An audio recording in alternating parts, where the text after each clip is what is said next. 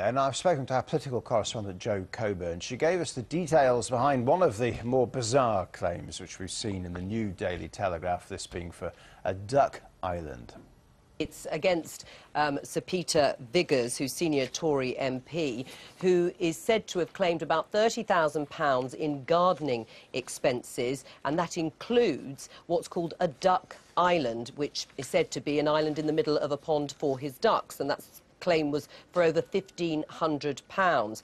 Now, we've been told that David Cameron, the Tory leader, has told him either you announce you're stepping down at the next election or you have the party whip withdrawn. And we're informed that he will announce, the Gosport MP, that he is going to step down at the next election. And, of course, he'll go before the scrutiny panel, which is this panel set up to look at disciplinary action potentially for MPs who've been accused of overclaiming and that he should be ready to pay a significant amount back. But he's not the only Tory MP in the Telegraph, um, the headlines that you've been showing. Also, Bill Wiggin, who is a Tory whip, a contemporary of David Cameron. Now, he is accused of claiming mortgage interest um, on a home, on his constituency home, um, which has has never had a mortgage on it. Now, in his defence, Bill Wiggins said it's an administrative error. He always meant to fill in the forms to say he was claiming on his London property, uh, which has always been his second home, and on which there is a mortgage. But it is an error the Daily Telegraph accused him of making 23 times.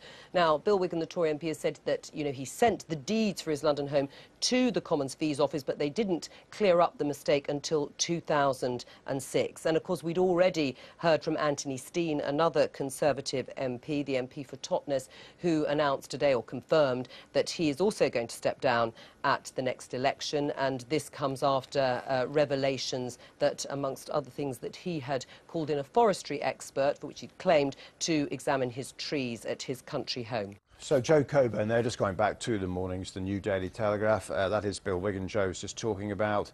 Um, Ruth Kelly has spoken to the BBC. She'd claimed uh, insurance for flood damage to her second home, even though she had a building insurance policy. She said it was an entirely legitimate claim. The claim was neither ludicrous nor a phantom claim, unlike others featured in the Telegraph